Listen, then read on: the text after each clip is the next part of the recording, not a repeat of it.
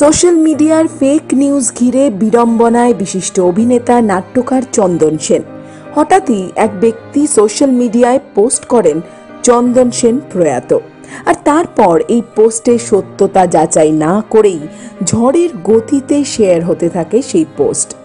যুবশক্তির দীর্ঘদিনের কর্মী চন্দন চক্রবর্তীর প্রয়াণের খবরকেই ভুল করে চন্দন সেনের প্রয়াণের খবর বলে পোস্ট করা হয়।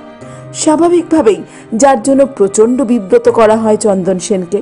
অবশেষে এই বিড়ম্বনার থেকে রক্ষা পেতে একটি ভিডিও পোস্ট করেন চন্দন সেন এবং বেশ মজা করেই বলেন তিনি সম্পূর্ণ সুস্থ। দেখুন সেই ভিডিও।